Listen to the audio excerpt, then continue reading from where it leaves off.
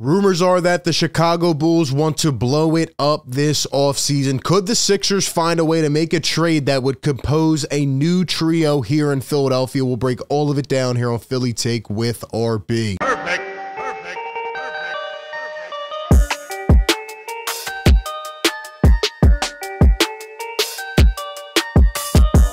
What is going on, everybody? RB here. Welcome into the show. Like always, hit the like button if you enjoy the content. Be sure to subscribe and hit the bell so you don't miss any of the coverage this off season. We will keep you all up to date with the news, rumors, etc.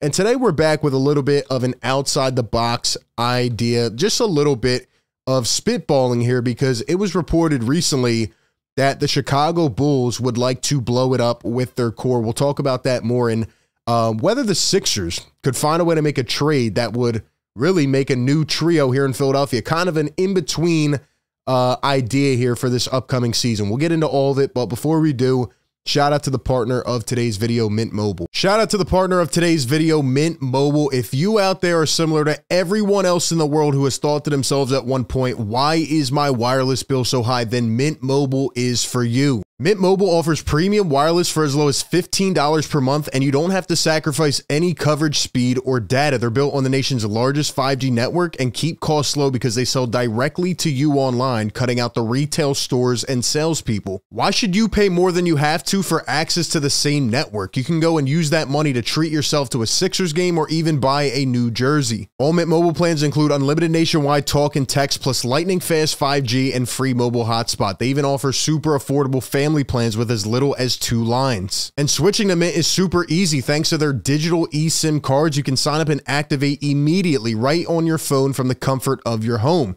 And if your phone isn't eSIM compatible, Mint will actually ship you a new SIM card free of charge. The whole process will only take about 15 minutes and if you get stuck, Mint has a great customer service team to help you through it. So if you are interested in reliable coverage and fast data for a fraction of the cost, go to mintmobile.com slash Philly Take. You can go right down to the description of this video and click the link, or you can scan the QR code on the screen. All right, let's get into it, man. So my question to the people out there is, what would you think about a trio of Maxey, Embiid, DeRozan, or Maxey, Embiid, LaVine? Now, this is what came out recently. A lot of Chicago outlets are reporting it. Number one, that Zach LaVine is not expected to finish his five year contract with the Bulls. Also, DeRozan coming into a contract year. So, you know, a lot of decisions to be made for the Bulls. At one point, maybe a couple years ago, uh, they looked very promising. And then, you know, the whole freaky Lonzo Ball injury. And uh, really it doesn't seem like Vucevic has really lived up to that contract. Uh, there's a lot going on with Chicago, and they could definitely be an active team this offseason if they think they have hit their peak, which honestly, I kind of think they have. Uh, I think they, you know, need to move on and, and make some changes. So I put this out a couple weeks ago, and I said, what would Sixer fans think about either one of these trios, especially with the Bulls blowing it up? It could be interesting. Are these realistic? You know, it's pretty funny, and, and as of late with Sixer fans, especially on Twitter, they have a lot of ideas. They have a lot of ambition, a lot of passion. They want to see things get righted, get corrected, but they don't have any realistic takes. They don't have anything of substance. Oh, let's do this, this, and this. Yeah, but that's not possible, you know? So I'm out here just trying to spitball a little bit and think about the direction of the team. And after everything that has been said, obviously we are waiting on the James Harden decision. That will really determine a lot. But let's say James Harden does not resign here, right? And he goes back to Houston or whatever. You know, Daryl Morey's already made it clear the Sixers are not trading Embiid. They're not trading Maxey. They're not rebuilding or anything. They're going to still try to compete. And really, that's why Nick Nurse came to this squad. That's what he said.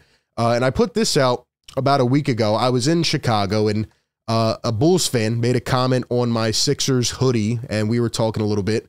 And you know, I was just starting to think about Embiid, DeRozan, Maxey. We chopped it up a little bit, and he thought it was interesting.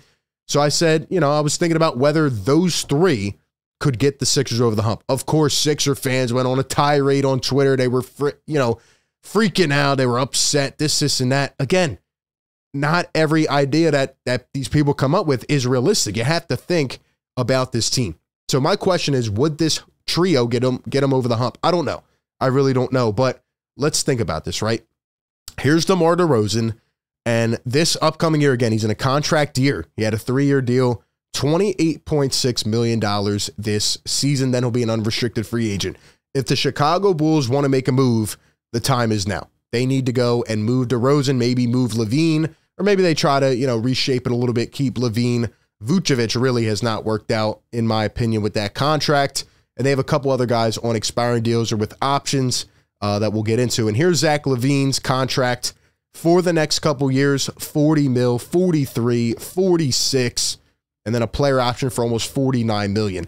Is that a good contract? I mean, I really like Zach LaVine's games. I, I, obviously I think he's more athletic. I think he could be a good fit with the Sixers, but there are questions about the defensive side of the ball. Would he fit in a Nick Nurse system? There's been questions about the personality, right? Him and Billy Donovan have butted heads in Chicago and how how's that worked out?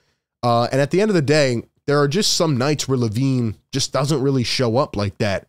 And this past year, DeRozan and LaVine both averaged 24 points per game, but do their games really complement each other? I don't think they really do.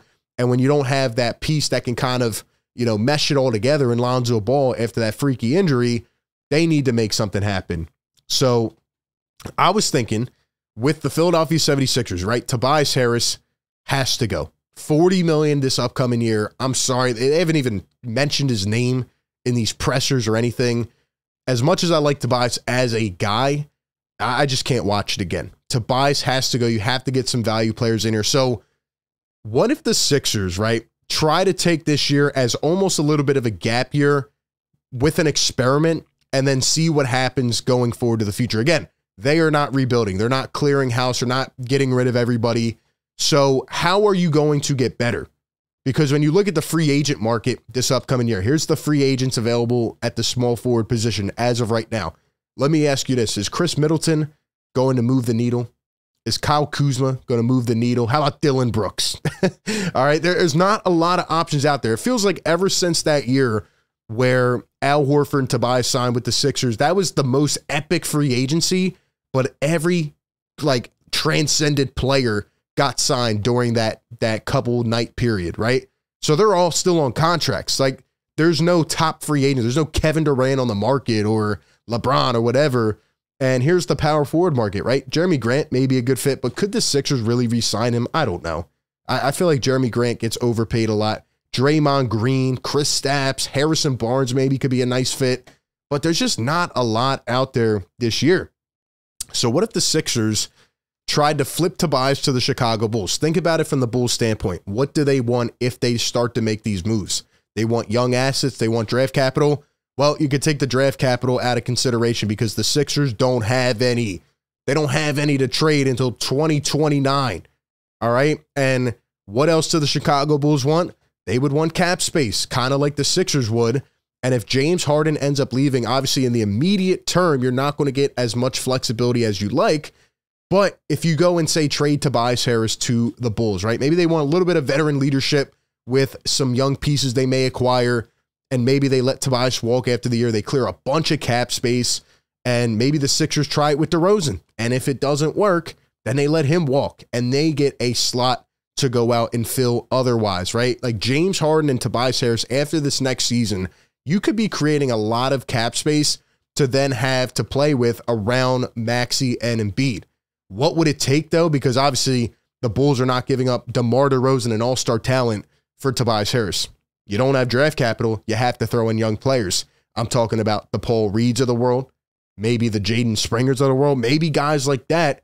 It would take if the Chicago Bulls look at their roster, you know, and they want to go out here and, and maybe build a core around Ayo Dosunmu and Pat Williams, and maybe they convince Coby White and, you know, all, all those types of guys, right? Maybe the Bulls would be nice enough to throw in an Alex Caruso, who I actually think would be a very solid player in a Nick Nurse system. I think he'd be very productive.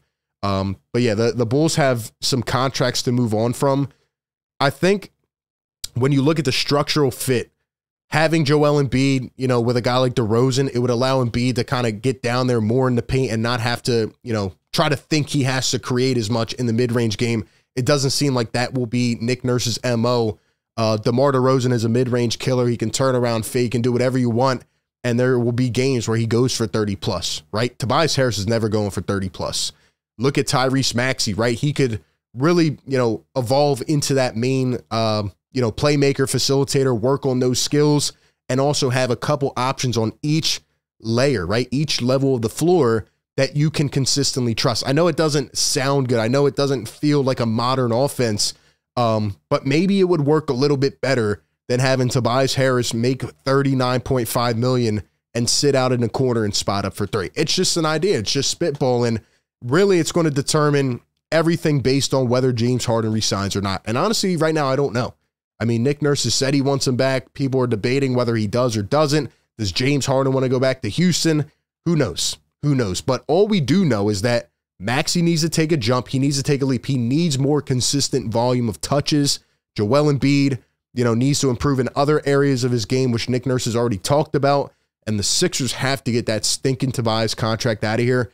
And if it takes one year of, you know, trying Maxey, DeRozan, and Embiid, and then you look forward into the future and maybe you clear up two big slots that you can use to fill with other players, I wouldn't be too mad about it. I don't think I would be too mad about it. Maybe it's not realistic at all. Maybe the Bulls would laugh at this trade proposal.